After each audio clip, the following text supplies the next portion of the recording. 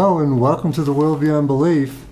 Uh, my name is Paul Marco, and uh, as we as we struggle with our intro on and on, we'll get it we'll get it right, and it'll be real polished at some point. But the important thing is the content. And today, the World Beyond Belief is going to have very exciting content because we welcome to the program uh, Dr. Matthew Aaron. Now, Dr. Matthew Aaron is a targeted individual, but he's more of an activist than that. He's really working, he's really struggling. You know, if you thought uh, some of our panelists on the on the Technocrime Fighters Forum were were tigers, uh, Aaron is also. Uh, Matthew is also. Uh, he's got an interesting background, and I, you know, I've always said that first of all, they're targeting the uh, the brightest and the best, and I think they got uh, a problem in in doing that. Uh, Matthew is a uh, doctor in neurobiology and behavior from Cornell University. Uh, he's got a Master of Science in Environmental Toxico- Toxicology for Virginia Tech. And if you want to target somebody that knows what's going on, you want to pick him. And I think what happened is, I don't know, they, they seem to pick people that are able to analyze what's going on, and they certainly picked a bunch of real fighters for this.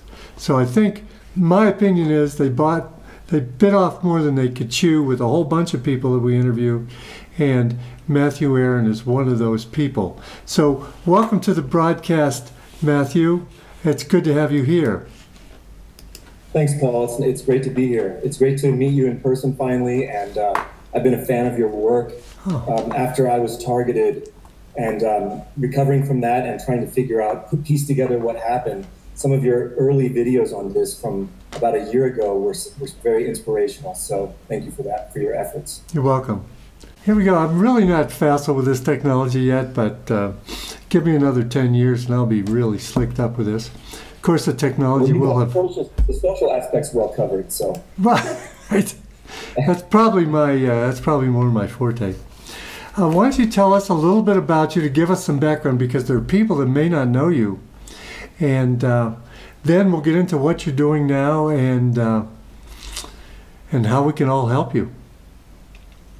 Well, um, an interesting part of my background, I, am I'm, I'm pretty much a hardcore scientist, um, and I've recently transitioned into more science writing. But um, I have 34 peer-reviewed publications in um, some top science journals, and I think something that's a little bit ironic is that I used to do a lot of research on weakly electric fish, which gave me a lot of expertise in digital signal analysis and in the body's bioelectric processes. So um, these things, both of these things are, are very relevant to to targeting with with RF weapons, and um, I think that gave me an edge.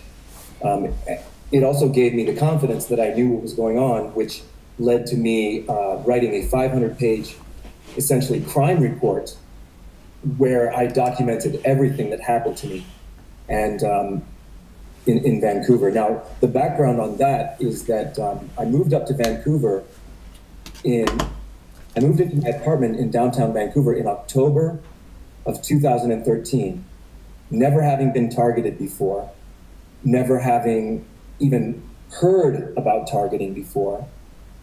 And I moved into an apartment where I saw some very odd activities going on in this medical building right across the alley from my apartment. And over time, I came to realize that that the, I, I I was confused because I couldn't tell whether that seemed to be zoned for business purposes, but there were people in there 24 7. And even in the middle of the night, there were more people inside that building than during working hours. And um, I saw some very odd things like people sneaking around in camouflage, um, illuminating other apartments, projecting photographs of people um, in the, that were taken in the privacy of their own home. And it, it was very offensive. And um, over time, I confronted these people. And, and also over time, I came to realize that my apartment was pre-rigged with electronic harassment devices.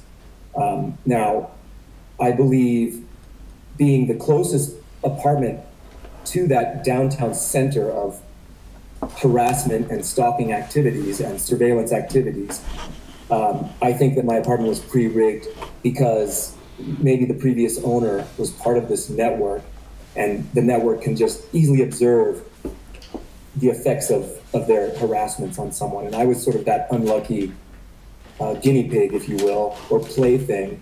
Um, but my response to it was that I just got more and more offended and I confronted them eventually. And that's when the really heavy directed energy assaults came out.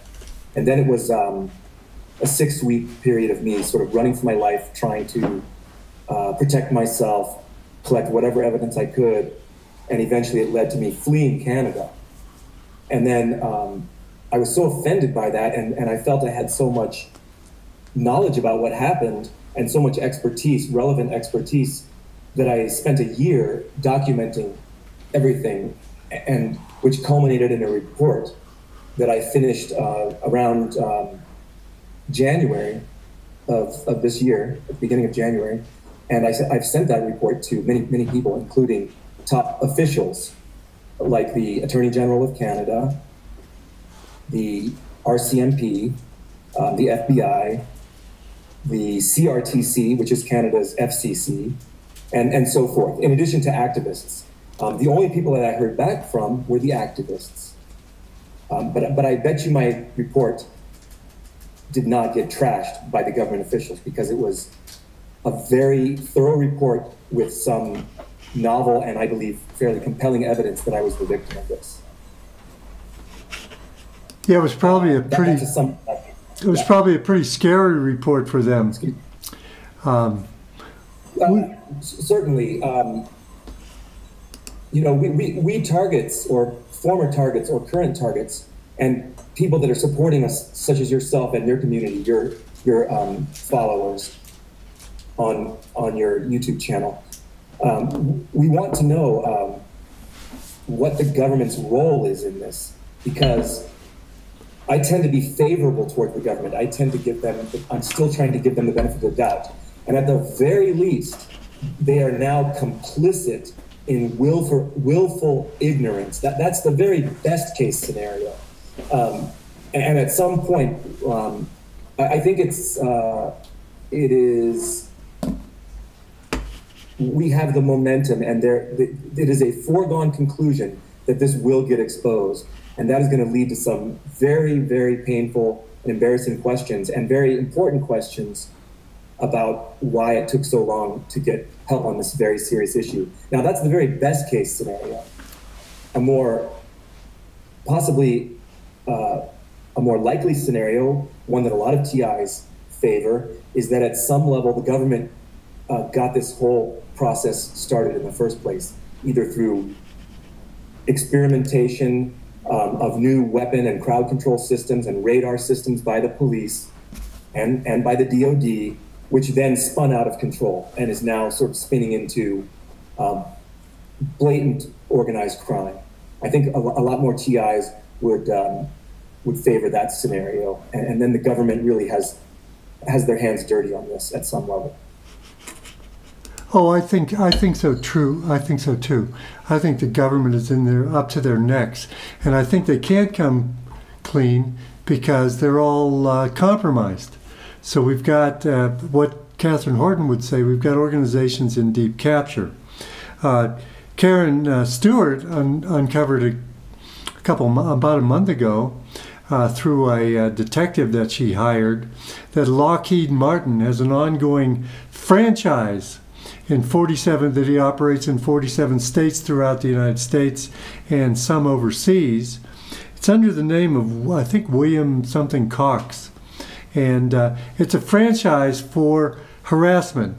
In other words, right. you can take this trans, uh, franchise in, you can buy these uh, weapons, and you can shoot people for money.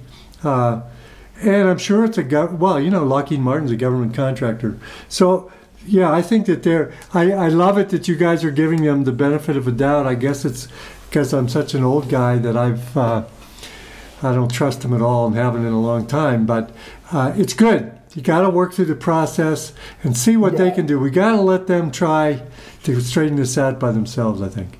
Well, um, I, let me comment on why I take that uh, stance.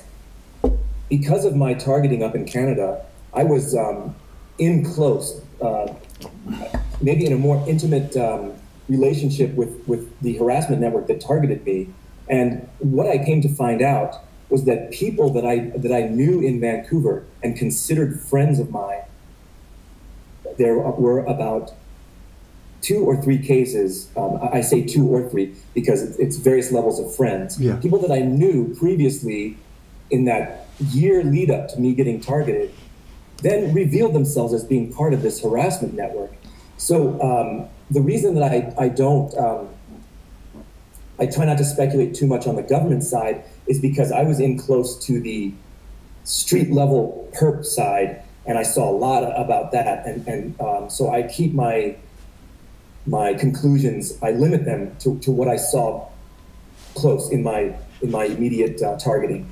Um, and um, and it, it was fascinating because basically, I believe that a network like the one in Vancouver, it may be it may be run um, by a government contractor at the top or or the uh, criminal elite, the technocratic criminal elite, but it's it's being run like a pyramid scheme where actually some of the capture is that's going on is capturing the perp network at the bottom, the street level perp network. They're somehow being recruited or captured in, and it's and it's pretty vast actually. And it's really interesting to speculate how can they get sort of ordinary people to get involved in this. I have some speculations on that. At the same time, there were also police involved. So, uh, so that, that and that is a, a uh, forward-facing part of the government. So yeah, I mean, I saw that as well. Undoubt, undoubtedly, there were police and responders involved in my targeting as well. Yeah, we found that we found that to be uh, pretty much true, and I lo- I love your approach. Uh, you and Katherine are looking at the organizations. How does this thing fit together? Because if you can figure that out, uh, you can find out what's in deep capture, what's still salvageable uh, of the government, and how does this thing actually work. Well, let, us talk about that for a second. Um, on on the, uh, I, I have to ask myself how how do seemingly ordinary, non-hardened criminals, nice people, get involved in in using energy weapons to irradiate people Yeah. to the point of pain and and and torturous debilitation? How, how can that happen?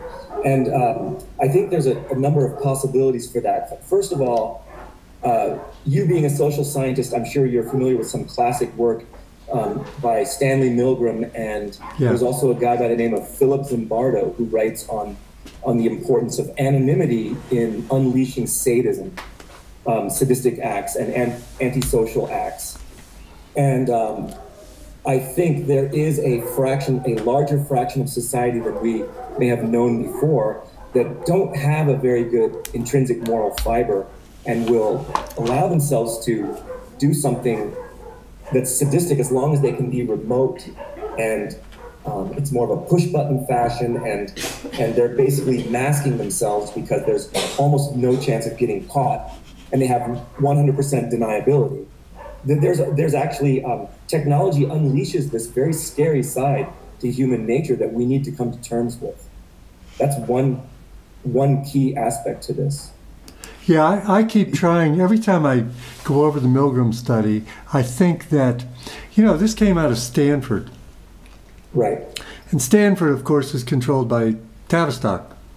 So, so, so we could have something that's trying to portray humanity as some as something that can you lose their humanity in certain situations. You know, give me a, a situation where I can act with impunity, and I'll act like a like a psychopath.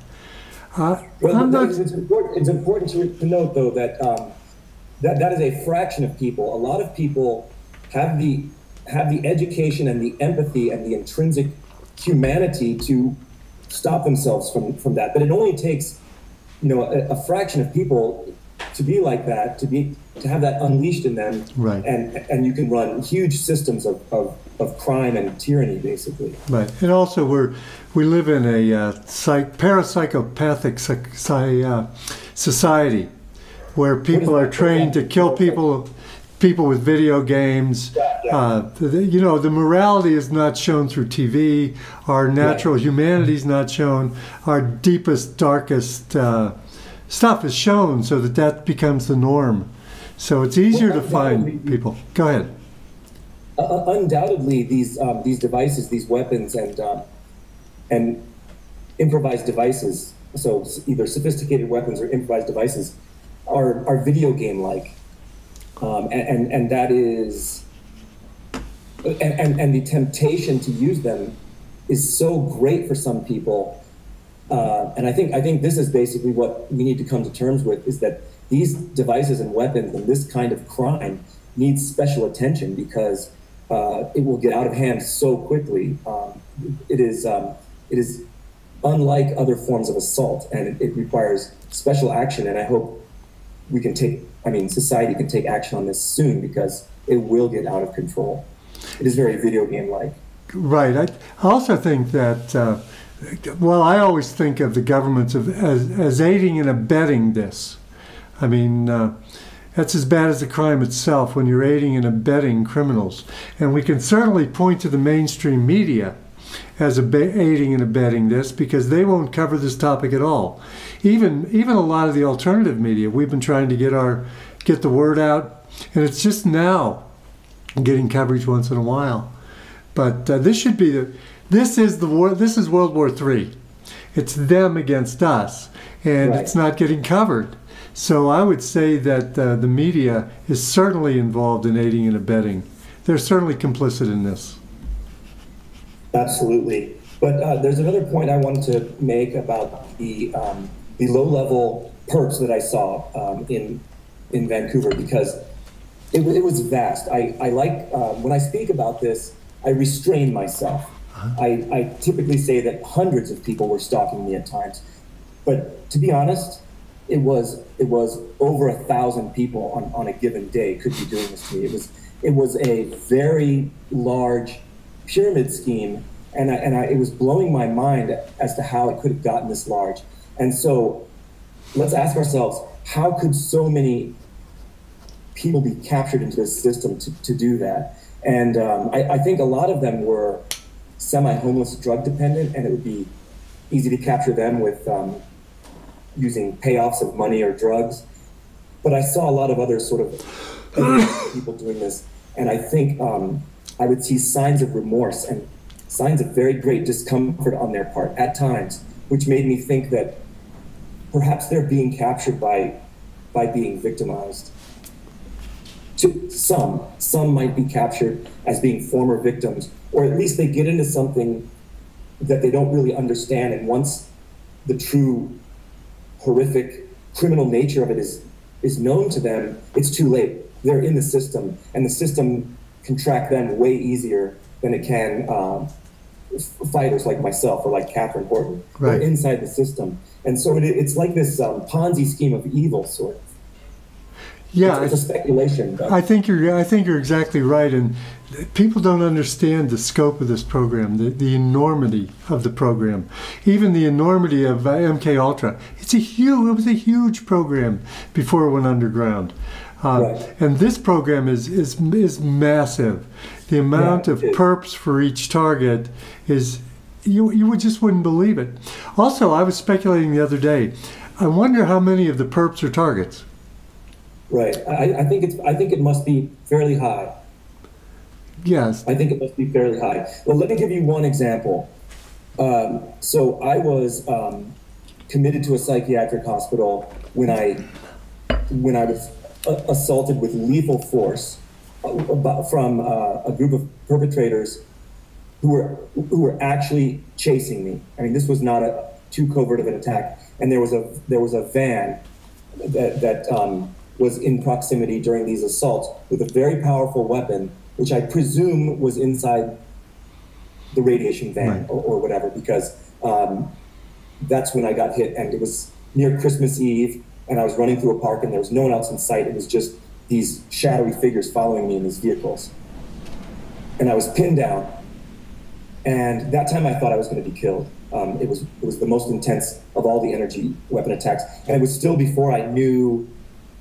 I, I hadn't been through the whole process yet, and so this time I screamed for police to come because I I, I wanted to keep the uh, perpetrators at bay. I, I couldn't I couldn't get to my cell phone at that time, and so I was I was yelling for an hour and a half for the police to come. The police finally came, and I recognized one of the undercover police officers. Um, so, sorry, uh, do you have? This is a ten minute story. Is that okay? We've got all day. Okay. Uh, Matthew, okay. So, um, so then, um, as I was trying to explain to the to the ambulance drivers who, who showed up, and some undercover police showed up, and I was trying to explain, knowing that I couldn't use terms like I was just microwaved or um, uh, you know a magnetic field just pulled me to the ground or, or whatever. So I was I was saying, well, I think I was I think someone used a taser on me through the air. That's how I said it. And um, actually, the energy induction in my body was so great that all of my muscles um, contracted at the same time, including my heart, Oh. my smooth muscles, and um, with at risk of sounding crass, just to tell you what the, the, the dehumanizing nature of this attack, I ejaculated at, Wow. that, at that time. I was electrocuted and ejaculated Lucky in addition to all the other effects that happened. And I told that to the police officers. At, I'm, I'm a scientist. I was trying to convey the power level of the attack. Right. And the police officers just, uh, they, they thought it was a joke. You know, they were just t- talking to me like an infant. And I'm a victim of a horrible assault. And um, then, as I was talking to one of the police officers, then I noticed that, that his partner in the in the shadows, holding back a little bit, was the same individual who had done a street theater moments after I was assaulted two days earlier in this uh, bakery, where he was pretending to be passed out at a table, and all these cops came in to try to wake him up. And then only after I left the scene and defused the scene, I saw him jump up and, and shrug at his, at his partners like that. It was the same police officer. And then I knew I, I was in trouble.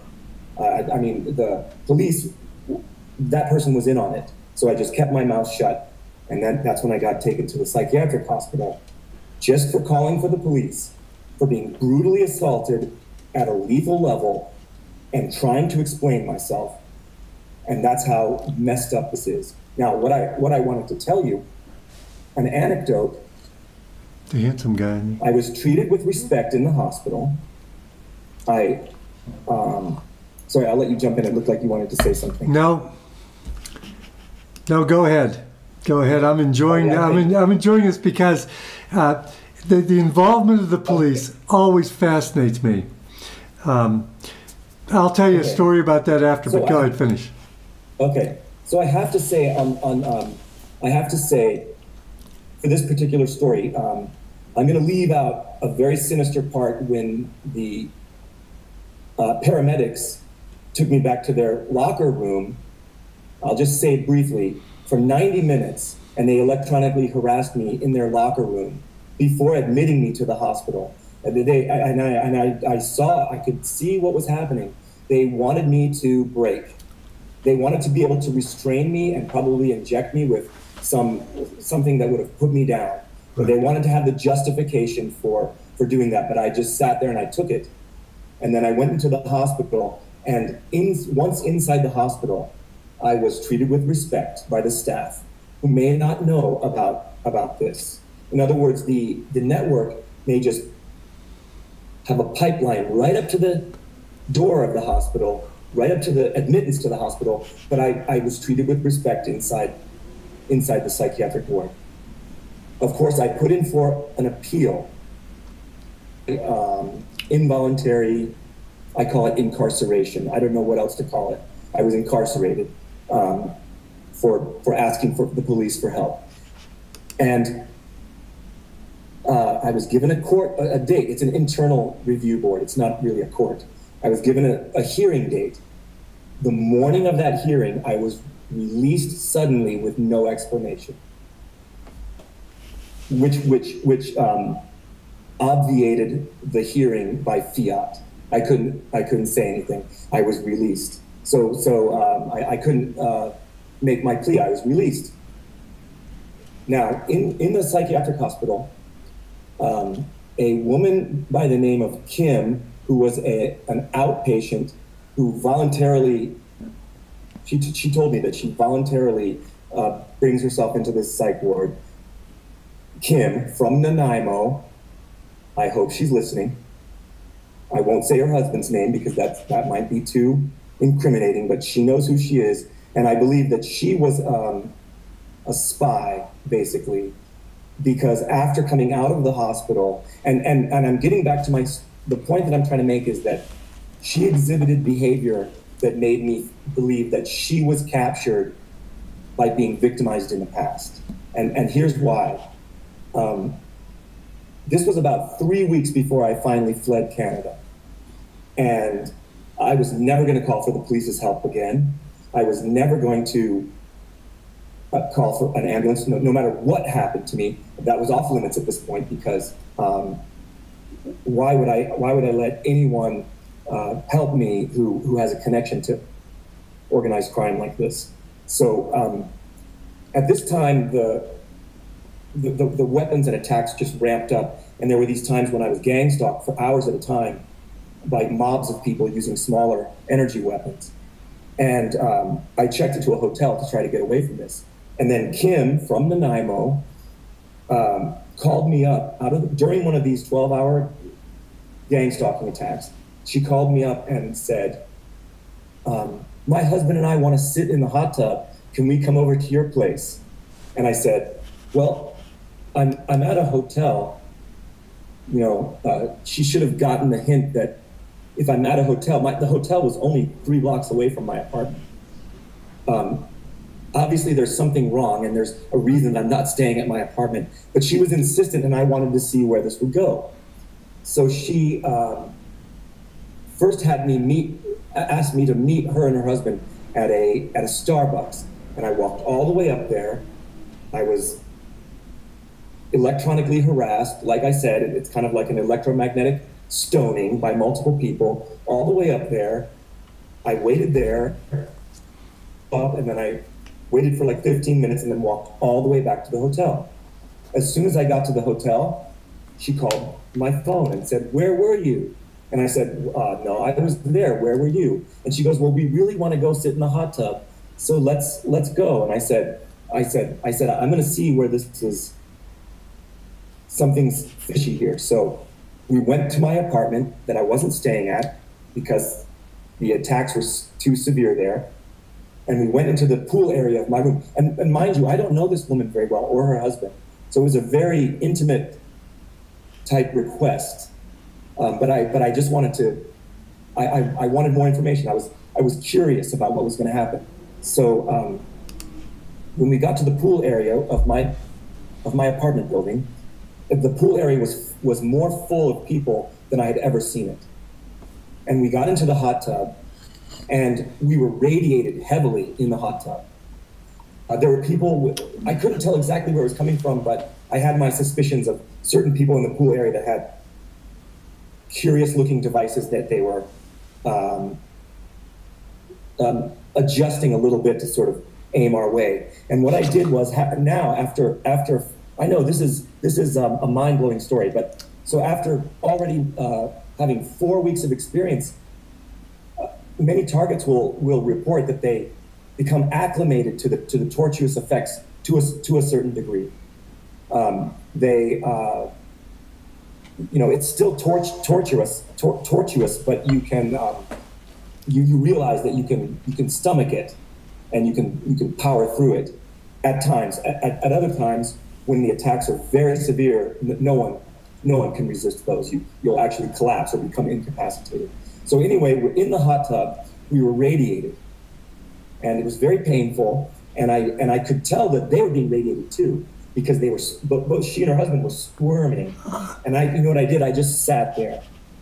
I acted impassive. I acted like I was having the the best time of my life, just waiting to see what their reaction would be.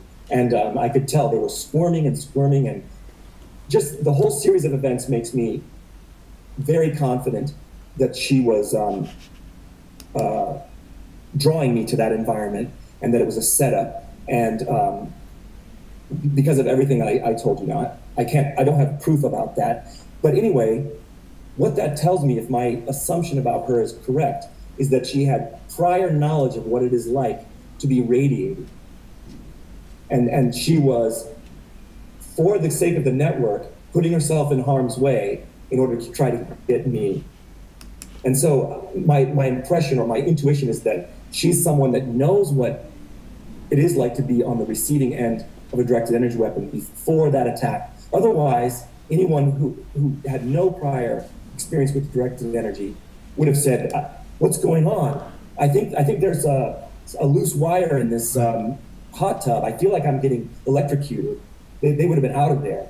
So, um, and and I had many other um, instances like that. Some even more personal with people that I knew as friends before, and they and so I feel that they have been captured by this system, and they're they're scared to death of this system, um, possibly because they know what it is like to be a victim, and they don't have the moral fiber to stand up and to do the right thing. Because there are many people like myself and Ella and Katherine and Karen and Romola. We are victims or former victims, and we would never, never join the dark side or or try to escape our victimization by by joining the criminal network. So um, that that sort of encapsulates my model for how I think some of this is going on at the low level, and and of course they're being manipulated. I should do this. I'm, I'm doing I'm doing it below the screen, but uh, those people at the low level are being manipulated and controlled through fear. Not all of them. Some of them are willing participants, just for the sake of payoffs or being sadistic because they're sociopaths. But I think some people are getting captured by these systems. And um, we all know that the system can keep all of those people in the dark about the true extent of what's going on. So there's manipulation both on the victims and probably also a lot of manipulation and compartmentalization inside the system as well. Well, you know, as as depressing as that is to hear how they can corrupt your friends and people would be willing to go along with this, uh, your analysis shows possibly a way to begin to loosen this thing up. Because if these low level perps, I mean, I was under the impression that they were mostly um, criminals that were released or ex-military. You know, you're ex-military, you're a trained fighter, killer. I don't know. Uh, you can go to the police, or you can go to into this this kind of a, a career. Uh, to see. Well, let, let go me, ahead. Um, let me just clarify one thing, though. I do think that the that the most of this, um, especially if you if you think of this Ponzi scheme of evil, near the top are the enforcers that really are like what you what you are saying. Um, but but I think as the system grows, they have to capture people that are um, that aren't of that ilk and possibly still have some uh, potential for being recaptured by us. Um, and and that's I think what you're getting at. Now, just for clarity, though, I'm not sure that that's what the majority of what's going on. I just observed in Vancouver that there are some people now at this bottom level being being captured into the system. My my impression and my observations make me conclude that the systems are getting big enough now that they're that they're capturing people like that. And and you're right. We should think about how we can go after um, after taking us down at that level. Right. I, I have a story. Now, this story isn't about targeting; it's about people. Let me let me see if this is relevant. I was a personnel guy for uh, a large county in Florida. And all of a sudden, we took over the sheriff's department, and the sheriff's department had prisons. While the prisons were lacking guards. Um, it was it was really hard to have to work double shifts. So we uh, made a major effort to recruit um, people to become jailers. Uh, correctional officers is what they were. Well, um, one of the first processes that we would would use after they would give us their application was to give do a criminal background check.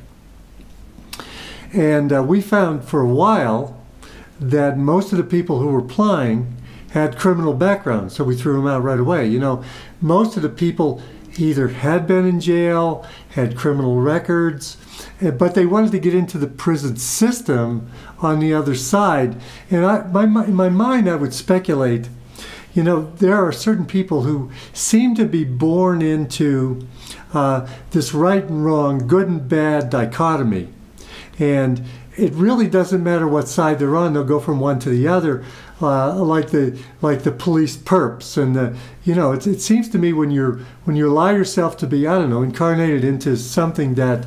Uh, uh, the, your lesson here deals with right and wrong, black and white, good and evil, and so the uh, the cops are easily corrupted, and uh, the honestly, if you wanted to buy, if you wanted to find out what was going in the going into the area, or you wanted to make a lot of money uh, driving a truck full of drugs, go to a criminal lawyer. They know all the, the you know, it's it's it's like a it's like a separate level of society that's in this black and white, right and wrong game.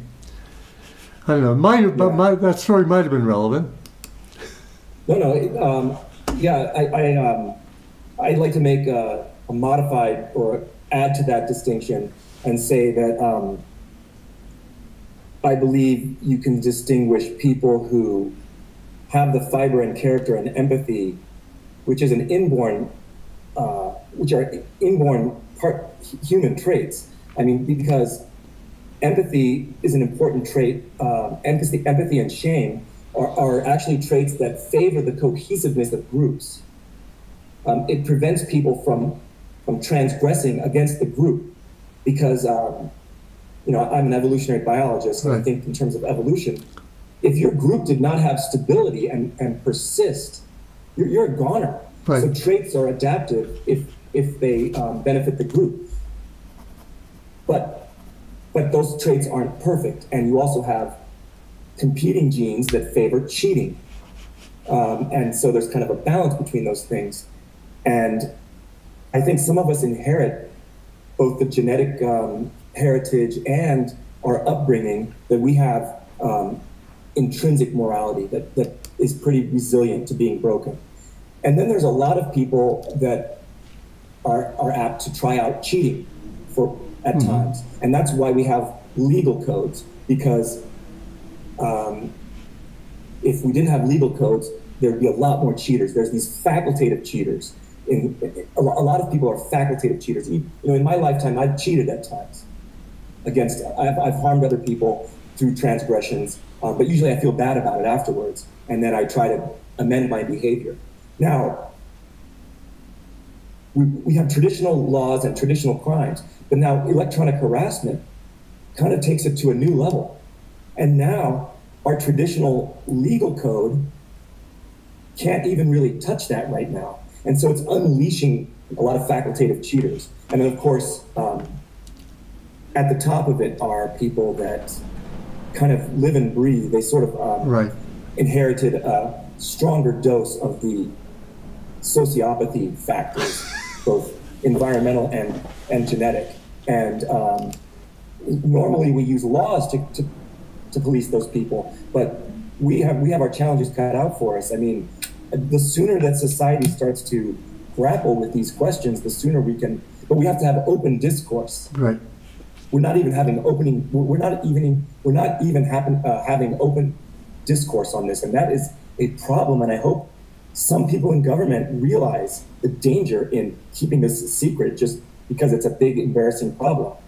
I mean, eventually it'll just force itself out because it is, it is a very threatening problem. But um, uh, it, it is sad that that um, there are so many corrupt uh, people wearing badges.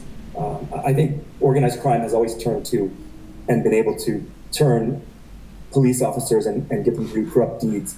Um, uh, it's I don't know. I'd like to maybe people even enter that profession because they like they, they have a kind of a domineering, controlling attitude. Some, but there, there are also good um, law enforcement too.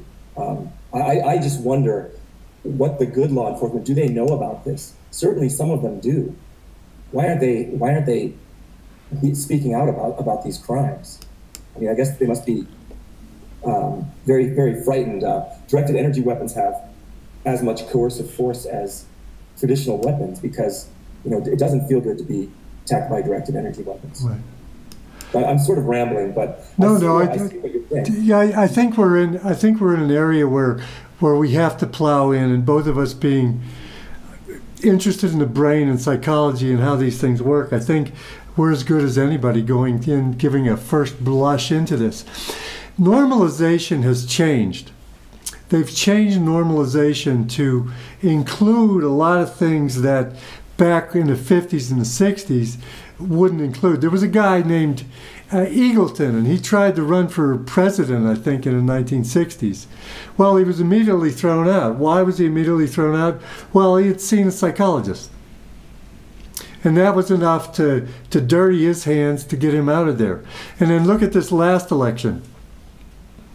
I mean, we, probably two of the worst um, examples of humanity were running against one another to lead the largest country in the world. It was, it was a total. The morality and the, the things that people would accept had been so adulterated that it was really hard. I, I, you know, so I think normalization, which people like to, that's what holds societies together and the cohesiveness and the conformist stage in development. Uh, that it's very important. But our normalization now has shifted, and they're they're starting. They want to shift it even more. You know. Um, right. So that it, it's it's because a lot of human behavior now um, is is can be done without visibility and without um, consequences. So I, I don't know how to achieve this, but what we need to do is to make electronic harassment more visible if we, I mean, eventually there'll be technological solutions to do that. But once the crime, because the crime is so heinous, if it's visible, society will then react with disgust, and there'll be consequences, and that and that will be needed to to control this this um, this activity. So um, you know you. You know where this is going is, I mean, there's going to be sensor arrays everywhere because we can't trust people with this stuff, and especially law enforcement. Give me a break. I mean, through the wall radar and talk of non lethal control weapons. No, no, law enforcement has not shown any um, maturity or responsibility in the past. They cannot be trusted with these weapons and these devices. Right. Even if they have legitimate purposes, you know, there's going to be people that sneak them out of their departments and use them on the side. And in fact, I think that's what's going on to a large degree right now. Well, I was I was watching one of your videos before you came on, and you mentioned Information Unlimited. This is a place where you can buy your own uh, directed energy weapons and start to harass anybody you want to.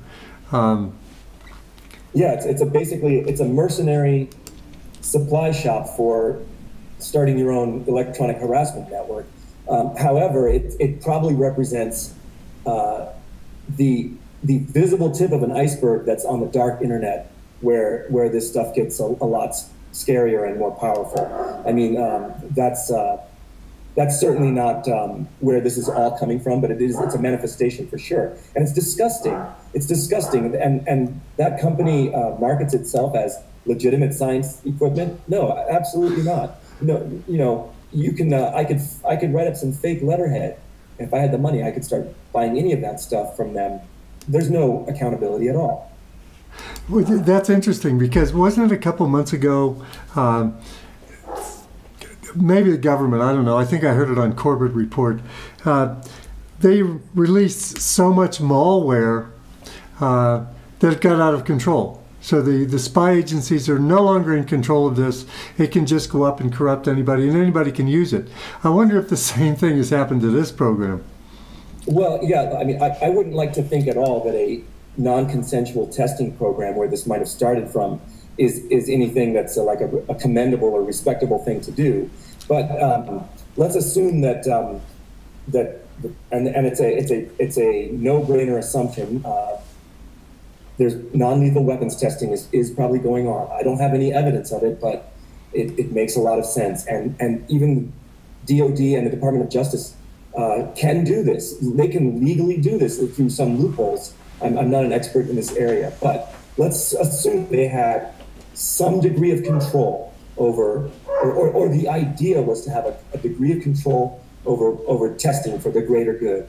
Well, it's gotten out of hand because the temptation is too great. It's, it's uh, the genie is out of the bottle, and uh, you know people people in government need to step up and do the right thing, and that is uh, be open about you know mistakes were made, but we need to correct this because it is uh, it is out of hand now, completely out of hand, Yeah. and, and very threatening to the stability of society.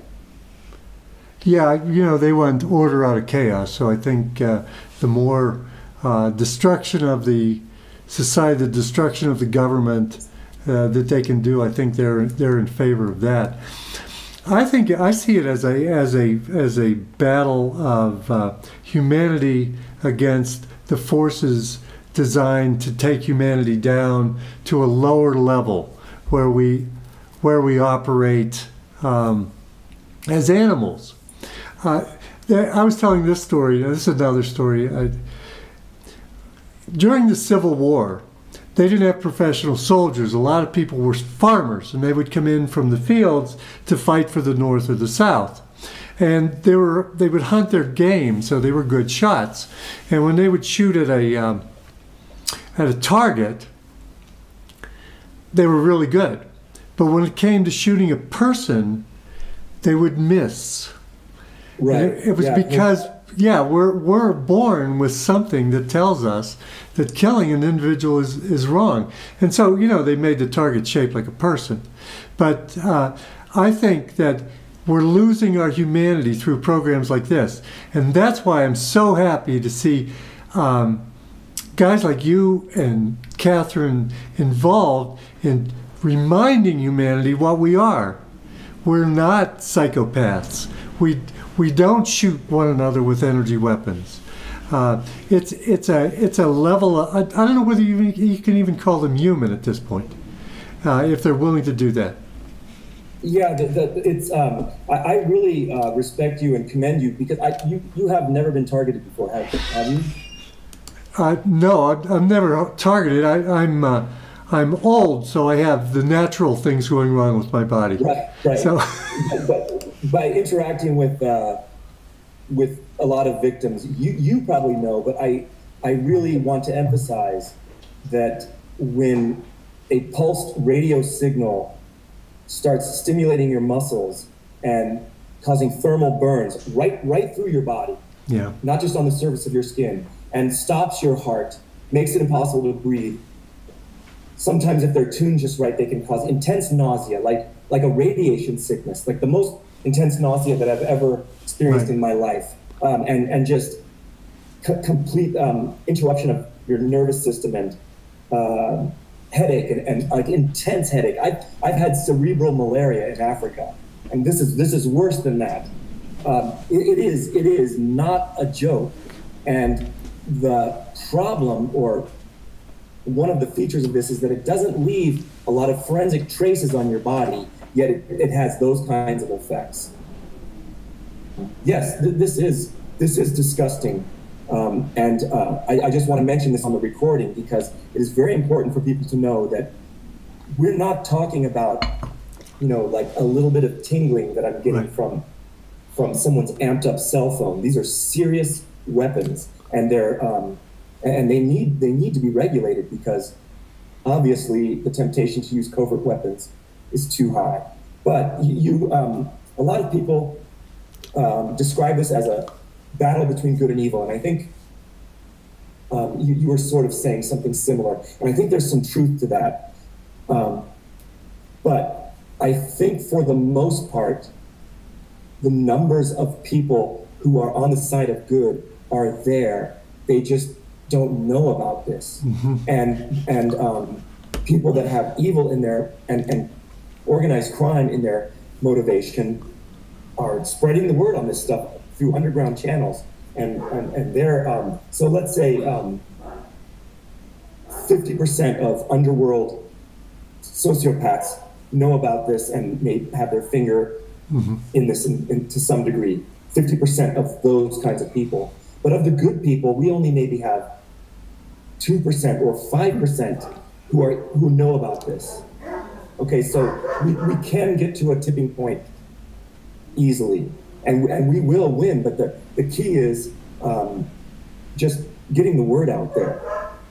Um, I, I think it's a foregone. They want to keep this as that. That's why their technique is to discredit, to funnel into the uh, mental health system, um, to mock, to um, you know, to do to do all that disinformation.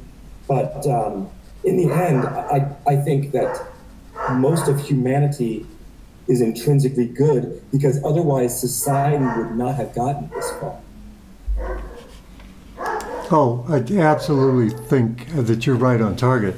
Most of society is good, but they listen to CNN and they, they're influenced by TV and they're influenced by, uh, oh, education system all the way up to postgraduate work. I mean, there's, um, there's all that. And then also, you, when you start waking up to this, it's so beautiful to see people waking up and and the more the more we do this the more comments we get reassuring us that yes we we're getting on board i just woke up uh, i just woke up uh, two months ago and i've watched all your videos thank you very much i mean it's happening it's happening Yeah. and it's happening Yeah. at an accelerated rate because of you guys and as horrible as your lot is to be targeted and burned and actually slow killed is what it is.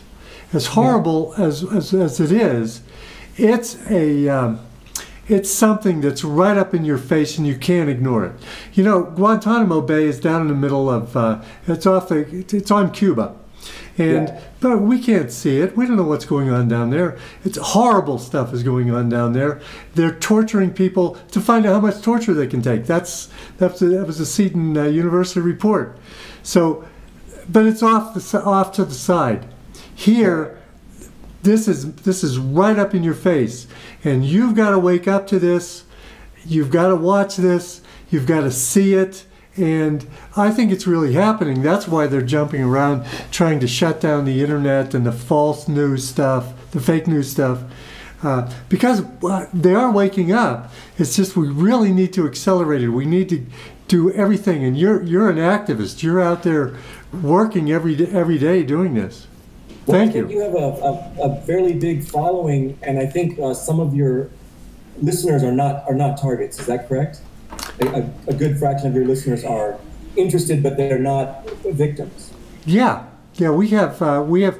Uh, I think they're all uh, in some stage of awakening, uh, Okay. but a lot of them aren't targets. Well, um, you know, and, and you're outspoken on this, and you that hasn't gotten you targeted. So I think that tells us that um, you know we can we can speak about this safely, and as as we grow, we're going to have herd protection. And so I'd like to make an appeal to people who are listening to this who aren't targets. You can help us. You can do the right thing. You can be heroic in, in a small way and join this effort on the good side and even fight for your uh, freedom and um, rights in the future to protect them from this by just start just start talking about this make this a topic of conversation and if you want to go a step further you can you can uh, get your targeted individual shirt and start wearing it around Right. this is going to become the talk of the century pretty soon this is going to become a cool thing to wear pretty soon or I got these. I got these shirts for under ten dollars each. I, I made one for my um, brother-in-law, who's not a target, and he came to the Washington D.C. protest wearing the COINTELPRO 2.0 T-shirt. That's So that's uh, great. yeah, Uh, you need to send me where they can get those, and we'll list it below this video. Just Oh, send yeah. it to us, and we'll put it on. Well, I made this real quick. You can. These shirts are less than ten dollars each, um, or around ten dollars each. and you can make them yourself on teespring.com. Perfect. Um, Perfect. yeah. And um, let's see, I had another point that I wanted to make. Oh, yeah. Uh, this is something I've been thinking about recently, and I wanted to use this recording as an opportunity to say this. I feel, in my opinion, that the TI's community has already made a major victory. Yes. And it isn't a victory that helps us right now, but it is a victory for future victims. And, and in a sense, it's a victory for humanity and society. And that is, I think we have already demonstrated through documentation and these kinds of recordings and by putting our evidence out there that if you take a bird's eye view, this atrocity is happening. We have demonstrated that. And more importantly, we have demonstrated that we have asked government entities and relevant social institutions for help.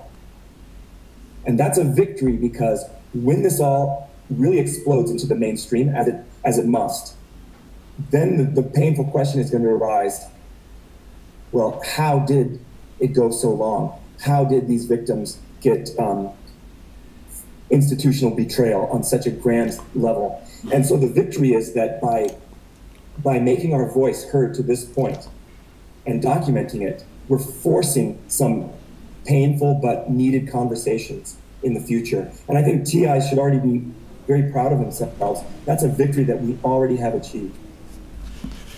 It's, yeah, yes, it's very, it's, I think it's very important. And also, it gives us all a chance to be uh, heroes for mankind. And I know that that may seem silly. Maybe, maybe that's a silly thing to say. But how often can you be a hero? Yeah, that's that's not. I I actually grapple with the same thing. Um, uh, I think the definition of I think um, I heard this somewhere. I'm not going to be able to attribute this properly, but sometimes you only have one opportunity in your life where an opportunity comes along, presenting you with the opportunity to do something for a really important cause, and you can make a decision. And if, if you you can either act of course, the window is, is pretty broad, so you know you might be afraid to act at first, but there's still a chance. This is one of those things. It sounds silly um, to me too sometimes to think of this as something that is this huge fight for humanity, but actually it, it really is. I mean, we're playing with fire here. This, um, it, if this doesn't get checked soon, it will grow into something that will destabilize everything and will completely turn law and order on its head. I mean, that's what it's all about. So I don't think it's an under understatement at all. But but um, it's the old me, and maybe it's like by habit we think, well, my life isn't that special. How can this be, you know, something for all of humanity? But but it is. But we're not acting alone. There's a there's a bunch of us, and we're we are presented with this opportunity, and it really is an opportunity because this is a test case for future technologies that will come along. And um, technologies are developing at a very rapid rate. Um, the military industrial complex drives a lot of it. Criminals will always try to use the latest technology for control. And this is an example where technology sort of got past our social institutions and uh, slipped past our guard. Mm-hmm.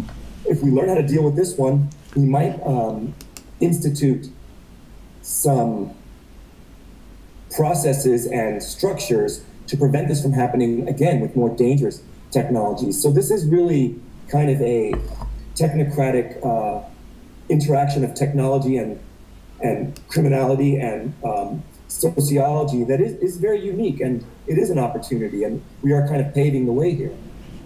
Oh, yeah, I think it's it's it's it's like the fight.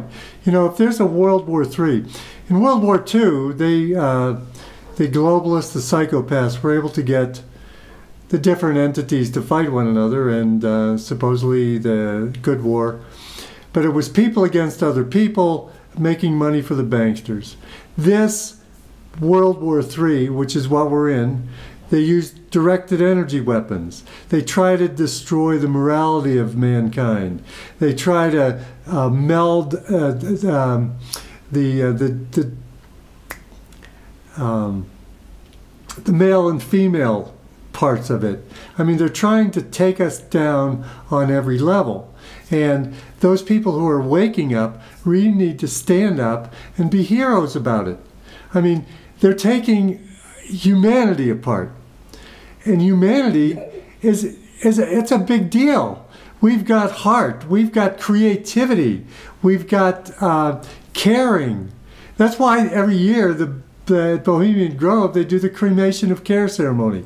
Our caring is what makes us special, and just by getting involved. And the thing we're, we're over we're fighting with right now is normalcy bias. I'm sure you've heard of this.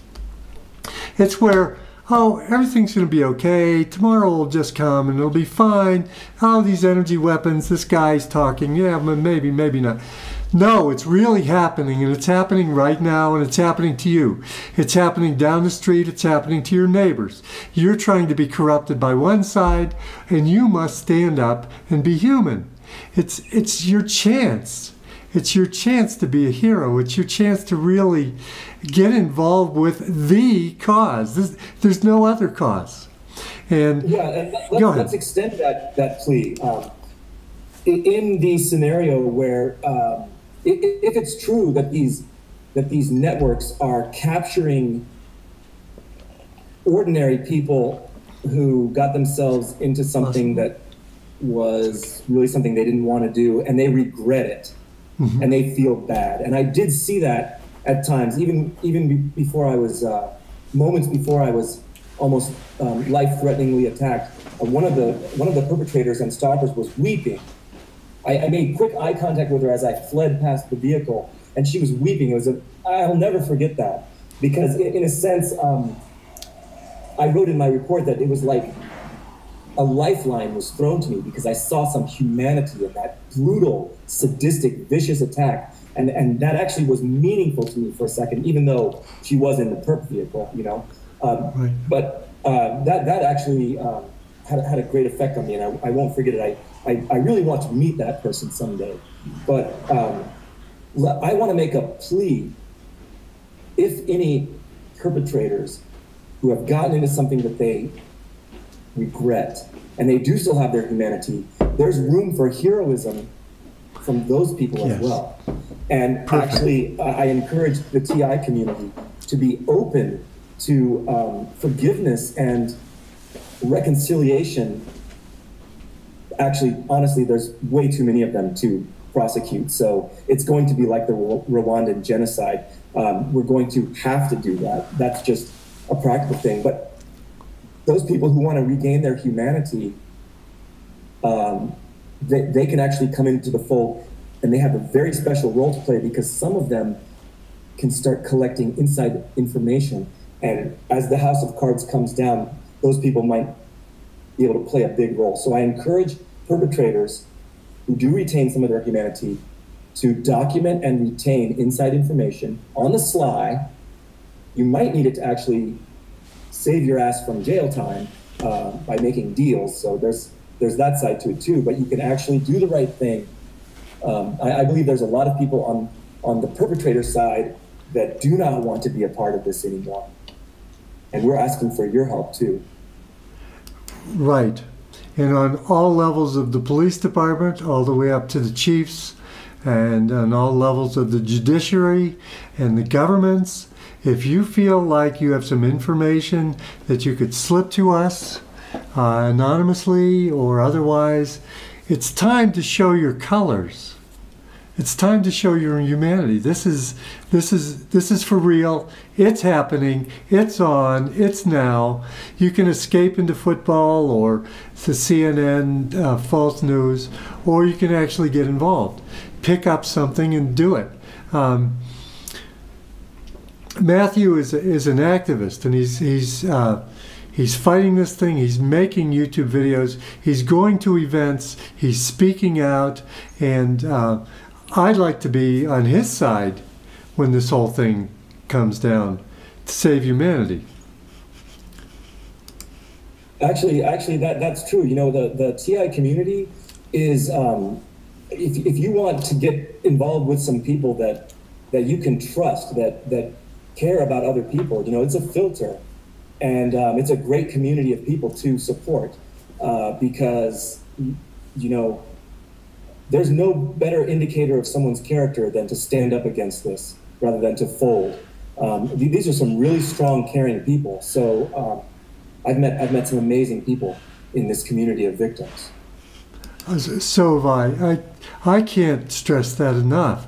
We get um, emails every day from them, and uh, they they've all been taking this. Sometimes they've been taking it for 20, 20 some years, and uh, now all of a sudden they see that oh, this is a big program. It's happening to a lot of people. And there are people that'll listen to them and not think they're crazy. I, you know, as a psychologist, I think that the psychology community has really done its work to, to allow this thing to continue and, and happen and really played a major part. That whole, uh, I don't know, what would you call it? Maybe a profession. You certainly couldn't call it a science. Uh, really needs to be disassembled and taken apart and put to put together in a, in a in a better way. But this is time. This is the time to get involved. And uh, the TI cause is a, it's becoming more and more out there. I mean, it used to be uh, to find a TI uh, testimony video was difficult to find on YouTube. Now it's all over the place. We do at least one podcast a week uh, sometimes two. This week we're going to do three interviews. It's it's coming out. Now's the time to to get involved and do what you can. And even if it's just something um, to try to try to uh, talk to your neighbors. I know it's difficult to wake people up, but here's a good. This might be a key to waking people up. Did you know that this is happening? Did you know that they took the Phoenix program? which tortured and killed people all over Vietnam. Um, and they transferred it to the, to the U.S. and now they're using it in the U.S. and worldwide. Um, just play at, just play one of the interviews that that Ella Free's done or that we've done with one of the targeted individuals, and if your heart doesn't tell you that they're for real, then you're a psychopath. I'm sorry uh, because they are real and they're out there and they want your help and they need your help. You're back. Good. Yeah, yeah. We lost the interview. We lost the internet for a minute. It okay. happens. Well, we're back on. Yeah. So. Okay. Well, um, you were you were, you were uh, in the middle of a rally cry, totally agreeing with. So I you just kept kept the rally cry going, even though um, and maybe you lost the internet also.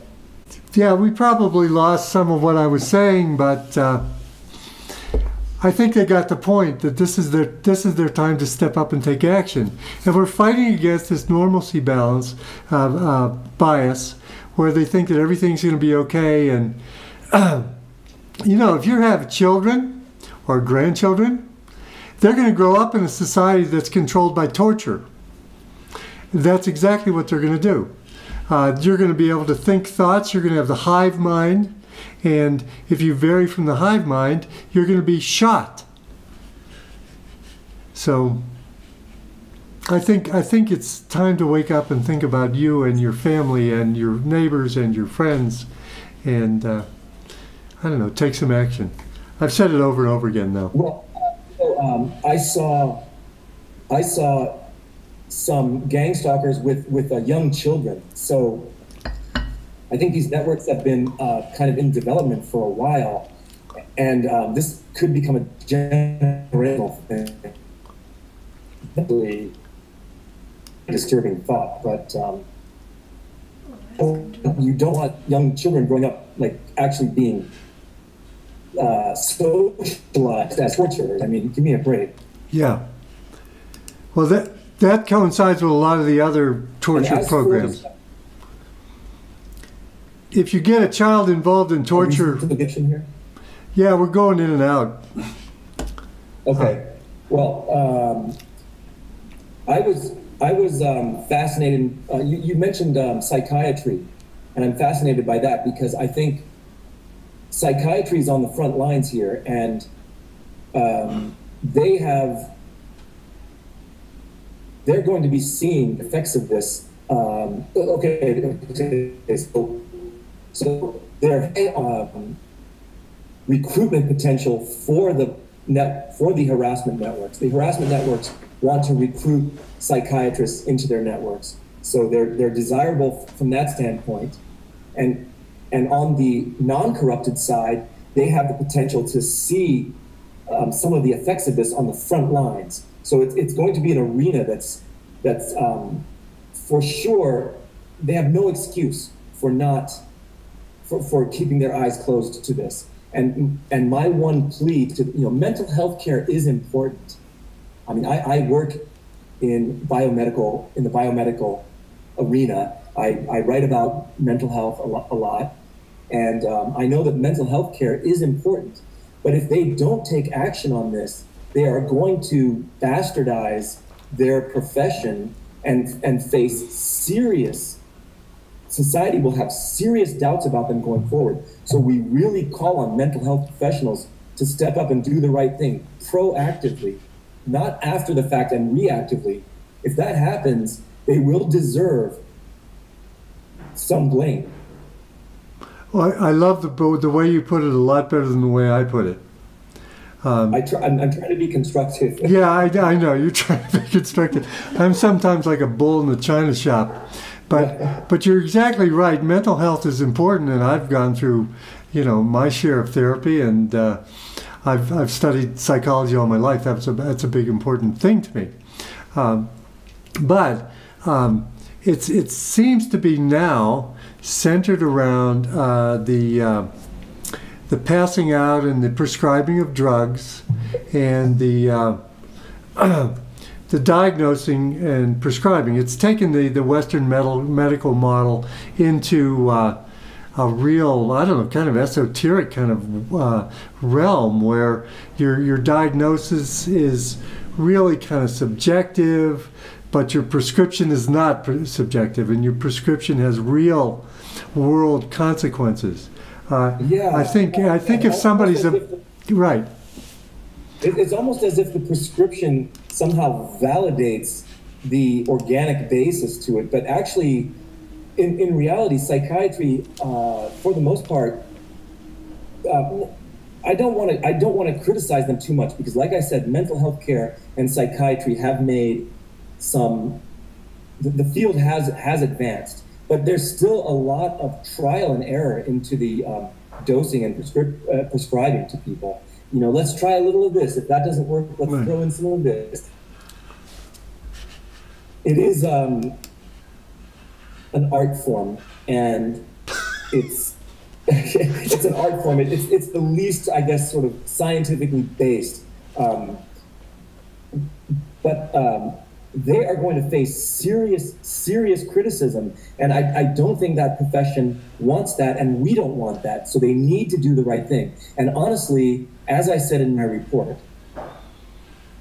with a little bit of training, they, it, is a, it is a profession full of very smart people.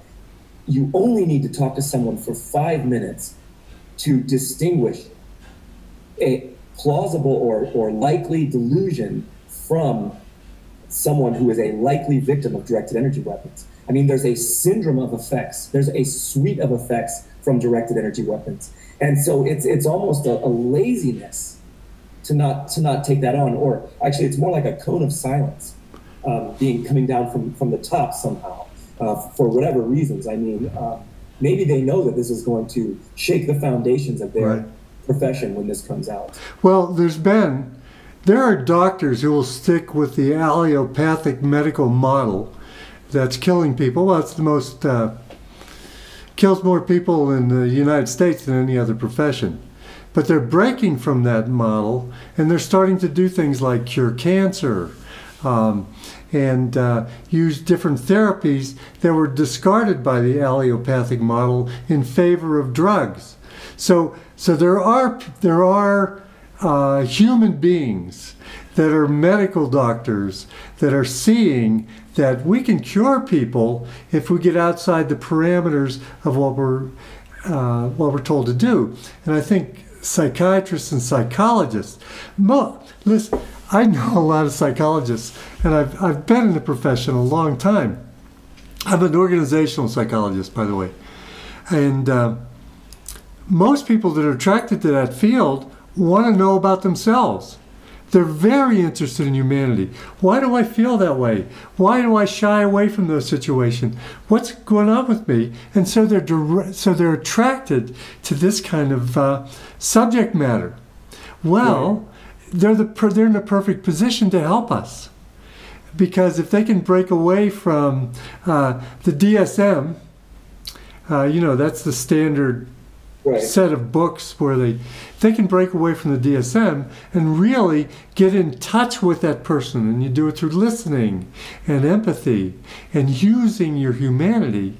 I mean you can really uh, you can really help us forward rather than diagnosing children and putting them on um, I don't know ADHD medication medication for uh, ODD and all those other uh, different things Um, let me just reiterate the point that I made. I, I think I can I can say it more more simply and more bluntly. If psychiatry doesn't come to terms and, and learn to deal with this new type of technology and the effects it has on people, the assessment after the fact will be what good was your profession if you could not distinguish delusion from being a victim of a cruel assault? right um, it, it, it's going to throw their field into question. And so they, they, um, they should step up. If they don't, they're making a big mistake for, for their profession. Right, we're we're right on the edge of uh, mind reading technology, aren't we? You probably know. I mean, you can. I, I personally, I think that um, uh, based on my professional background, I, I don't have, I'm not privy to any of the, obviously the classified technologies behind the scenes. So uh, I, I have limited knowledge. But I would say that the um, the mind control aspects of targeting are overblown, in my opinion. And and, and but, but they're not overblown for no reason. They're, because if in combination with through the wall radar, voice to skull, which is real, and uh, classical conditioning through torture, basically, Right. with, with, with that um, three part arsenal of technology, you can um, cause people to conclude that their mind is being read quite easily. Right, I mean, imagine if I can just send auditory or visual signals to you remotely, and I can also watch what your reactions are with through the wall radar.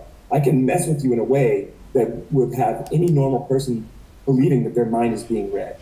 So, um, uh, from, from my background in neurobiology, um, recordings in the brain or EEG close in, um, even that has, sure, you can read someone's emotional state, and there might be technology that allows um, emotional state, levels of anxiety, um, possibly uh, muscle activity in the vocal tract, where if, someone does sub vocalizations, they might be able to actually read that. But your thoughts, your internal thoughts, your high resolution thoughts are your own, and I don't, I don't think they can tap that. And the reason is, um, again, I'll qualify this by saying, I, I don't, I'm not working for DARPA. I, I don't, um, I don't know what's going on behind the scenes, and there's some amazing stuff going on behind the scenes. But all the potentials that are going on in your neurons, that are the basis of your thoughts, all the individual neurons that are firing, those um, fields and potentials get summed. The, the activity of them gets summed. So, so there's a constraint. Reading them from the outside is reading, you lose information because all, all of the um, voltages and fields are summed and the information is irrevocably lost. The, the only way to get at the original information is to have um, is to be recording it in the context of the brain's structure, which in a sense is flattened as you. Does that make sense?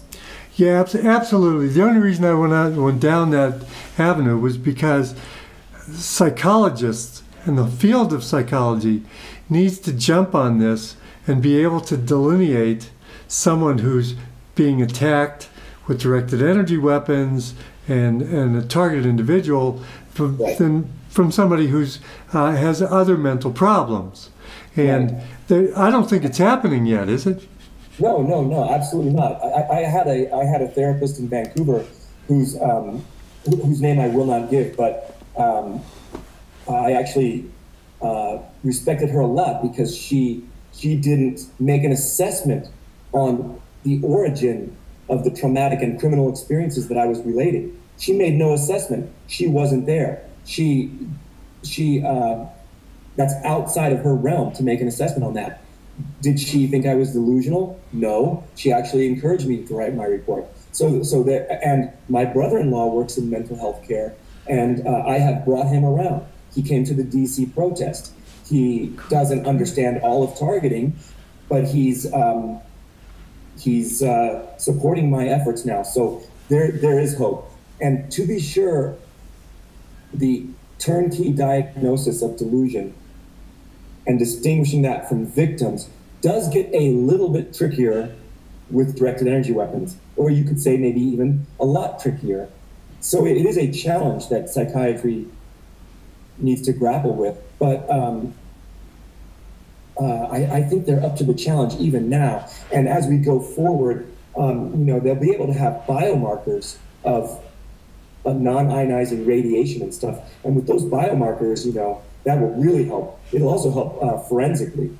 Uh, pe- people will be able to um, take that into a court of law. So psychiatry has its challenges for sure, but the cost of them not dealing with this issue will be com- completely turning their profession upside down and and you know actually um, uh, or molecularly based neuroscience is waiting in the wings, you know, and that would be a, a way for them to step in and say, hey,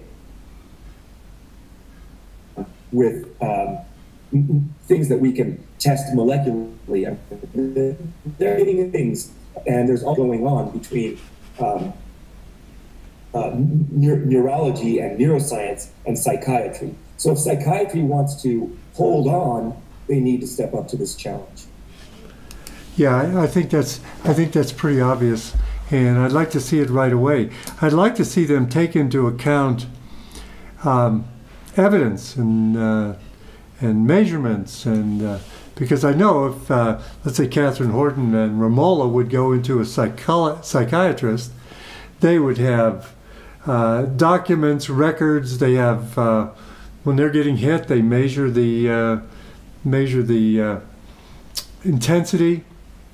Millicent is another one we work. You know Millicent Black. Yeah. Dr. I, I, I know who she is. I, I, haven't met her, but I know who she is. She's she's got uh, X-rays of her entire body, and it looks like a Christmas tree with all the uh, all the um, what do they call- Lesions? Yeah, all the little implants that she's had. Oh, So-. Yeah, so that so so I think psychiatry and psychology really need to start taking into account objective scientific uh, things that are going on, in addition to you know the talk therapy that they're noted for. Well, um, I'd like to share a couple more anecdotes, but uh, I. So um, can we can we wrap this up in like uh, ten minutes? Do you think? Yeah, why don't we? Yes, that that sounds that sounds good. It's always it's always a it's always a question because uh, if you if you have a hard stop, then you might be in, in, involved in something really great, and uh, but if you just Yeah. let it go, just no. If that, that's great, ten minutes would be great. Why don't why don't we uh, why don't we head for ending it up in ten minutes and uh, we'll I wanted our to give you a little lead time because this this has been great, and um, what what you just said um, inspired me to share another another story. You you were talking about how uh, Romola and Katherine, uh, how we um, we know we learn from experience what kind of um, documentation we need from uh, police um, and psychiatric reprisals, basically. In in this kind of victimization. So, um, have, have you heard of the the Moth Radio Hour? No, I haven't heard of that one. Okay, it's it's a it's like a a venue where people tell um, very personal stories, stories, personal triumph, and um, triumph. Well, in Vancouver, there's a. Um, I, I, hope this doesn't get out to them because I, I, I really want to do this. But there's a um, there's a bar in Vancouver that does the flame, and they allow people to stand up and tell stories that are true. It has to be a story that's true and that's about you. And uh, when I tried to go to Vancouver, I was sending reports to the attorney general and the chief of police and the mayor and the RCMP. I, I was I was blocked from going back to Canada. And at the border, they said, um, "Well, you need to get a, a, an immigration physical, proving that you're that you don't have any mental health issues and that you won't be a burden on the Canadian system. And this is just to go there as a tourist for a weekend. I mean, I'm def- I've definitely been put. They, they know who I am at uh, Immigration Canada at the, at the border. So um, I want to sign up to get to give this uh, talk at this at this bar in Vancouver. I mean, I want to go back there and lay this out to the Vancouver crowd. And I tell you that I guarantee you there will be some perks in, in the audience. This will be so triumphant for me to do. I'm planning to do this in uh, six months or so, but in order to get to get there, I mean, I'm going to practice my talk.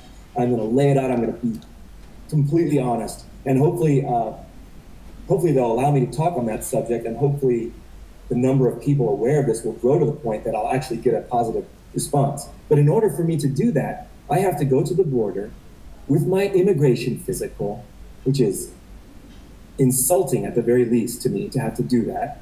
Uh, I'm going to take my bank account records showing that I have money. I'm going to, you know, I'm going to give the border guards no excuse for turning me away from Canada. And if they do turn me away, I guarantee you I'm going to be recording the whole thing, uh, not not not with their knowledge, but I'll I'll be completely open about the fact that I was barred from entering Canada anyway, this is sort of my uh, one of the little activism things that I've got in my my back pocket that I'm just planning. Yeah, I hope it happens. I mean, Canada, that's Sweden light. I mean, that's that's really the most liberal of the liberal. You'd think they'd want everybody, you know. Thought would have had targeting. It was crazy up in Vancouver, though. It was it was out of control up there. The targeting was. Yeah, the targeting. But I, I mean, I used to think of Canada. I mean, I would. I, the only time I've ever had police harassment in my life was during my targeting, and I've been. I worked in Africa. I mean, even police in Africa weren't weren't that corrupt, weren't that bad and corrupt, you know. But um, when I went to Canada, and, and my first, I lived in Canada for three years prior to all of this. Also, I used to think Canada was the most liberal, safe place, but uh, targeting has taken a, a hold in Canada. Yeah. And a lot of victims uh, talk about gang stalking and electronic harassment from, from uh, many different parts of Canada. It's, it's big in Canada. Yes, I know. As I know it is everywhere. Yeah, we get a lot of people from Canada. Uh, I, I would say that half of the people that write us that are targets are from Canada. Yeah. So it's so it's alive and well in the, the Great White North. That's for sure. Don't know if there's any relationship, but uh, as the rumor goes, Satanism is also popular in Canada, and, and there might be a, a linkage there on some level, or in some cases. Well, yeah, I, I don't even know what to think of Satanism. I mean, it, it almost sounds uh, it almost sounds comical to me, uh, but I, I think I think there's people that actually are seriously into worshiping uh, the ideas and, and notions of chaos and evil. I, I, guess that's how I would define yeah. Satanism. About about four or five years ago, we got into the. I always thought that uh, pedophilia and child torture was the worst thing, so we started doing uh, podcasts on that and uh, got heavily into that and and learned a lot about Satanism and uh, how it works and the fact that it's it's it's heavily practiced by higher ups in governments and uh, all over the world, and it's it it can't be discounted uh, because it's uh, it's a magnet for psychopaths, psychopaths and Satanists. I mean, it's hard to tell them apart, but it's some it's you know a crazy world that I grew up in. Uh, didn't have things like Satanists and stuff like that. I mean, no, but the world that we have to deal with now, you have to take that into account. There's psychopaths, there's Satanists, there's perps, there's directed energy weapons. Yeah. Um, so, Paul, in a nutshell, um, is is Satanism used as a as a vehicle for controlling um, the adherents through fear and also because it's such an audacious thing to do is it is it do you immediately get to blackmail someone because they're part of your satanist group if needed? Or or is it um, a belief system that people genuinely believe in? I would like to think that it's the former. It's it's a tool that's used to control people or or do some people really get into the sort of um, uh, religious aspect of it as a genuine belief system uh, I think it's both. Uh, the four tenets of Satanism is one, the worship of the ego. Physical body is all we have, and just do everything to, to feed the ego. The second one is doing away with morals. It's all moral relativity, it all depends on situational ethics. Uh, the third is since uh, the ego is all there is and there's no morality, we can rule the roost. Satanists can take over anything. There's like a psychopath. And then the fourth tenet. Rampant narcissism, too. Right. And the fourth tenet is eugenics, which is what we're heavily into right now. They're rolling out the eugenic, eugenics uh, agenda, agenda, and we human beings are not going to take it. So I think you're right on both. On both, uh, I think it's both of those things. They do use it for fear. Well, I don't. I don't really have time to get into the specifics, um, but I'll just mention briefly that the, the because I was living essentially across the alley from a downtown center where, where I saw what looked like, even at the time, even before I became targeted, but now in retrospect, I, I second the motion that, that it was um, a training center and a ritualistic reward center for this yeah. harassment network and um, there were uh, there was a lot of um, uh, rampant uh, sexual um, exhibitionism and behavior going on that, that, I could see at times, and also um, there were ceremonies that involved um, cloaked, hooded, like Grim Reaper type figures that would mm-hmm. come out, and um, there was a time uh, right in the lead up to me being heavily targeted when I was burning the midnight oil in my office. I was just 25 meters away, working on something, but you know I had my window open um, because that's supposed to be a non-residential building, and also it's my apartment. I want to have my window open, and uh, there was a ceremony of some kind going on, and one of the guys pulled out a sword and pointed it at me in front of 50 people, and it was offensive. So I yanked my shades back, and I and I, I said, I said, I did this. Bring, bring it, bring it on. And uh, that, that, that was uh, days before I, I, was, that, that's before, you know, stuff wow. hit the fan. But any, it, it, there were other instances, and I, I, um, I can, I, I want to air, to assume that this was simulated because they, they could use mirrors and projections, and I couldn't tell what I was really seeing. But they simulated sexual contact between an adult and a prepubescent child. Mm-hmm. They did that one time. And it was obviously also very offensive to me. But what can you do? They're doing that audacious stuff. You, I mean, you know you can't go to the police when you're and, and I didn't go looking for that. It was it was um, in my face. And there was another time when someone held up a baby but it, but it could have been a, a, a, prop. It was very quick. They held up a, a baby and shook the baby like this. It was a realistic looking like rubber baby, or or a real baby. I, how was I supposed to know? But these were the kinds of theater that I was getting from them. Very sinister. And there was also a ritualistic aspect to it. And I used to not want to talk about this stuff because um, I wanted to give my targeting uh, recollections and accounts and evidence and affidavits more credibility.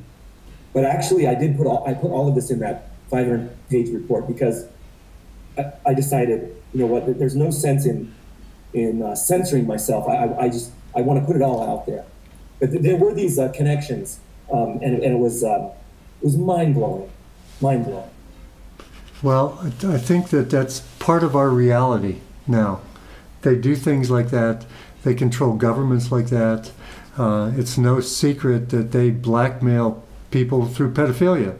I mean, look at the Lolita Express from the United States. I mean, uh, you know, you know about that a lot of the up, up, upper echelon of government. I mean, your Bill Clinton, uh, Donald Trump, uh, Dershowitz, uh, Kevin Spacey uh, were regular visitors. They would take a plane to an island that was run by a guy named Jeffrey Epstein, and they would have sex with minors. And of course, it would be videotaped uh, it was, I think, orchestrated by a guy named uh, Maxwell, Robert Maxwell, who was uh, uh part of Mossad. And uh, so all these people were, are under control because they're they were. Uh, it's like straight out of out of like the intelligence agency CIA, Mossad, KGB playbook. It, it's like, are we living in some kind of sick James Bond movie? I mean, what is going on? We are living in some kind of a sick James Bond movie. When I first saw uh, Katherine Horton's website, Stop 007, I thought, yeah, that's that's what we need to do. We need, we really need to do that. Uh, well, um, on my, oh, go ahead. Go no, ahead. no, go ahead. I, what I wanted to do is kind of wrap it up, but yeah. I do want to wrap it up too. I need to go to work, and I, I would just like to make a plug um, for all TIs. This includes, uh, if you don't want to use the term TI, um, this includes anyone who believes they're a victim of electronic harassment, uh, unwanted electronic intrusions onto their body or into their home, electromagnetic torture, directed energy weapons, directed energy devices, including sonic devices, or radiation um, RF devices or even ionizing radiation devices. If you think you've been a victim of this and you want to participate in something that I believe is going to be very meaningful, there's this um, global TI survey. Can you read that? Yes, we can. Okay, so to join the survey, here, I'll put that up in a second. This is a survey that is being organized by two of the top um, leaders and activists in the TI community, Kate Ryan and Carla Smith. They've worked on organizing this and developing the survey for over a year. And they have as advisors non victims and NSA whistleblowers and American heroes, uh, Bill Binney and Kirk Wiebe. And they have experience on analyzing data and looking for patterns in written data and they're going to be actually analyzing the data. Now, these two um, whistleblowers and uh, former NSA, top NSA officials, they actually now um, have connection to alternative media and some people in government that are starting to awaken to these issues. And they're, they're fighting for us and they're interested in this and they want to get survey data. And when they analyze the data, they're going to um, announce it to their, their contacts in the media. And I think there are people in the media that are just waiting. Some people in the media, they, they don't know how to write about this because what's the story when it's just people's allegations? You need at least a toehold to, to get in there and start writing about it. And this might be that, and this might be significant for future legal actions. So to join the survey, you just need to send a, an email to Global TI Survey at gmail.com. And that email needs to Let's link this up below. contain your name, your full Okay. name, your address, postal code, and country. and your telephone number.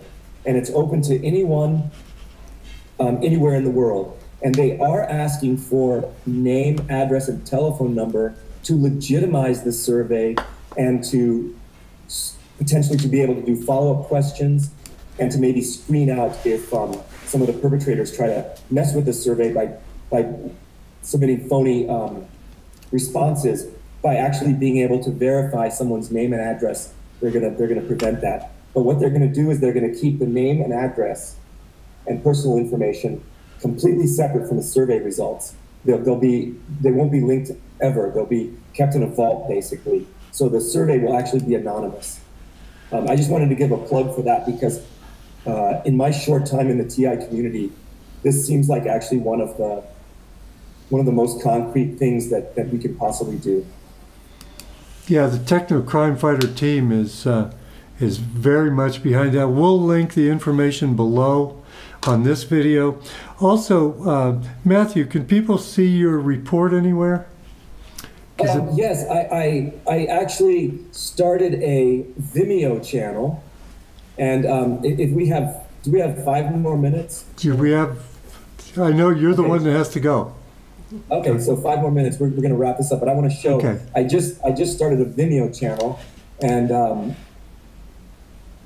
I, I just give me a second. I'm connecting to it now. We have one. We haven't posted much on it lately because we've uh, we're mostly on Okay, so- YouTube. Yeah, go ahead.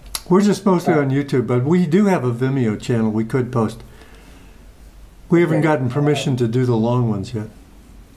Right, I, I, I purchased, I, I paid for it because I'm just, um, I'm just trying to flood my stuff out there as much as I can. And I have a little extra money right now. So I'm going to share the screens real quick. And, um, uh, let's see. Okay, can you see the Vimeo channel? Yes. Okay, so, whoops.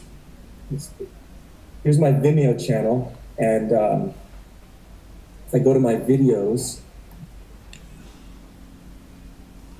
uh, it only gives me a certain number of. Uh, I have to wait another week before I can upload more. But on this testimony of a targeted individual number one, um, I so, so the, the video channel was uh, Dr. Matthew Aaron, I believe, or Matthew Aaron, and the, the video was entitled Testimony of a Targeted Individual Number One. So in that video, actually, um,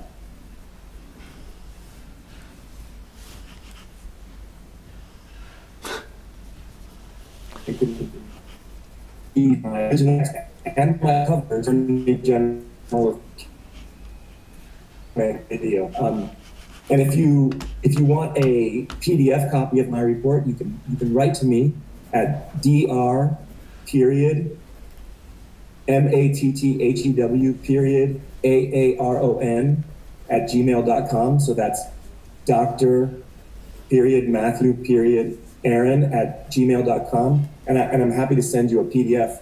But I just a fair warning, it's 500 pages. Okay. It's a. PDF. I can just email it. Also, uh, when you were talking about your Vimeo channel and what's in that video, uh, we got uh, we got Googled out of there. So, do you want to repeat that? Oh, okay. Okay, so, so I'm just going to say that um, my goal has been to try to um, document this, uh, at least my story and my claims and my affidavits forever. So in that testimony of a targeted individual number one on the Matthew Aaron Vimeo channel, um, I actually encoded 66 pages of my report into the video. So as the video and the cover letters that I sent to the FBI, the Attorney General of Canada, the Mayor of Vancouver, and the um, the uh, Chief of Police in Vancouver, I, I put that in the video. And um, the, the parts of the report that I included were um, just the executive summary, and then where I where I wrap it up and kind of tie it together, the, the overall findings. So which I think is the easiest stuff to write, not all the details, but then I really lay out what I what I saw in Vancouver. So if you want to see some letters that were sent to the FBI and Um, it's all in there. It's in the video, or you can write me an email and I'll send you the PDF. Right. People will ask for documentation. Um, as deeper, deeper and deeper we get into this, they want documentation. There's tons of documentation, and uh, Matthew has plenty of it on his website. Well, thank you very much, uh, Thank you. uh, Matthew. If you want to get on, if you want to do a podcast with me, give us an email, and if you have something urgent, we'll just stop make a podcast with you. Um, think You know what? I think it's great. I, I want to get the word out, and um, if something happens, you know what I'll do? Um, I'll wait until I have something something new. Something new happens when there's an update is, is needed. If if I start to get targeted Yeah. or some big activism uh, uh, success happens, I'll, I'll let you know. But but right now, so for sure I'll, I'll get in touch. Um, but for now, I'm I'm kind of behind the scenes, doing some uh, Okay. some bread and butter activism but I'll, I'll let you know because I like to say I like to talk about new things. So if something new happens, I'll, I'll get in touch for sure. This has been a great experience. Yeah, for me too. Thank you very And, uh, much. Um, Give my regards to the techno crime fighters and to um, Eric Karlstrom if you talk to him. okay.